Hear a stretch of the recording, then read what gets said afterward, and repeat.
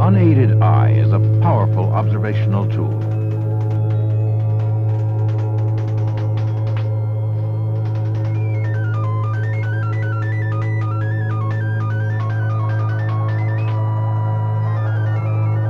The complexity builds up from systems that self-assemble. So you have, you start with atoms and you have multiple atoms that come together to form a molecule. And then you have multiple molecules that come together and they form a larger macromolecule, maybe a polymer chain of small molecules. Then those molecules can assemble into sheets. Multiple chains can form into sheets and the sheets can form into three-dimensional structures. And those structures can exhibit much more complex behavior.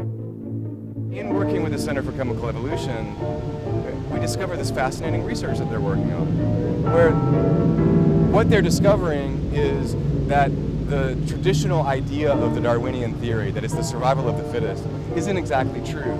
That what's true at a molecular level and that translates into a human level, it translates into ecosystems, it translates into the way the planets work, is that it's the most diverse group that is the fittest and that therefore survives.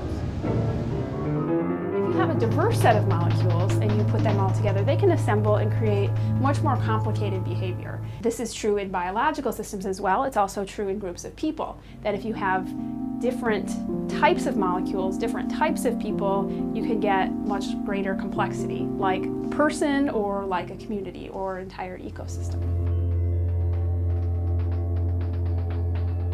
once they become public knowledge, once those ideas spread out into the public mind, are going to transform the way that we think about ourselves as human